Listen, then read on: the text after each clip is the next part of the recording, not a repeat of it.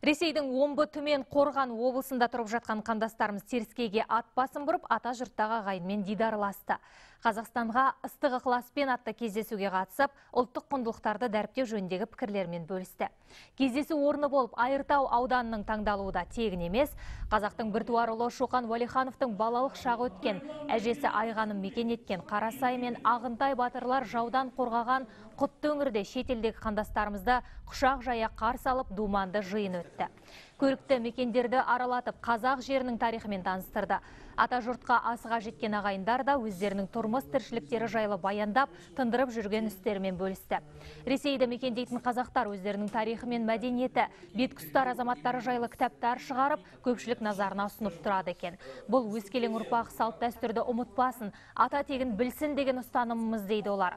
Ассамблея жылын орай өткізілген шара барысында екі елдің арасындағы татулықта сөз болды. Азаматтар сондықтан. Біздің енді атамекеніміз осы жақ қой. Шын айтқанда баяғыда аштықта 30 жылдар өткен ғасырдың әкелеріміз аталарымыз бабаларымыз шығып кеткен күн көру үшін қысылымшылық уақытта. Соған енді мынау қайтып келіп жатыр қазіргі жастар. Егеменді қазақстанға. Міне өзімнің де балаларым осы петропавл қаласында.